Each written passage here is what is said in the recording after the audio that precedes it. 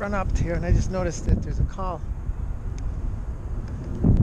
for a uh, possible drug overdose at Wendy's right here.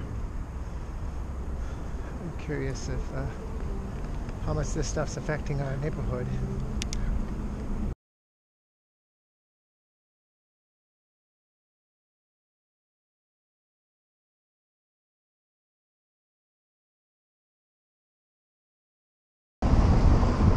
We're gonna go in here.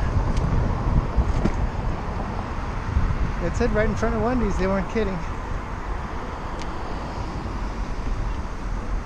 Oh, I bet they love this. It's doing some business.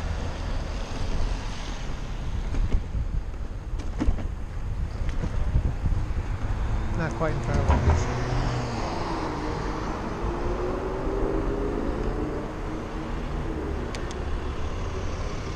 Okay. We have both police. This is going to be uh, Topanga Division. And we have LAFD, uh, Emergency Medical. People gloved up. Apparently someone's either overdosed or maybe worse. We got two police vehicles. I don't think I saw the other one.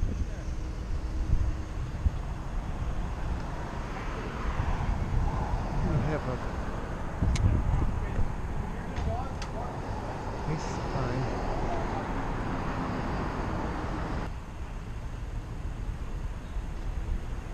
We had someone living in here. It's a nice place to put up tents. If you can see that. I hadn't seen it. I guessed it, but other people saw it. So they're talking to. I see one LAFD fellow and two policemen talking to this gentleman.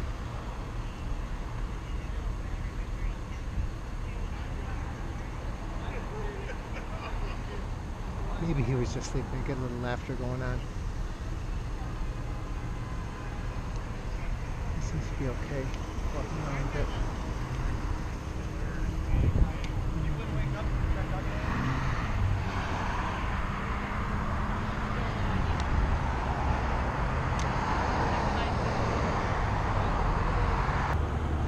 Was sleeping over here. Potential drug overdose and sleeping. This is what we've been getting a lot lately. We can't tell if- if it's a homeless or it's a drug overdose. Then you got to react. You Got to do something. I don't suppose they're going to arrest him.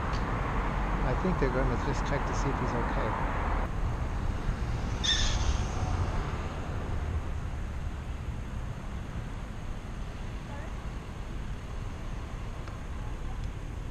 Hot, almost summery day. You can feel the what we would call a uh, Indian summer in western New York. It's like all of a sudden a day or two of penetrating heat. Not quite the same sense of a hot summer day. Supposed to get up in the 90s. I didn't look. It doesn't feel that hot. It feels a bit hot. I'm curious if they're going to say anything. Yeah, they took him away. They check him out.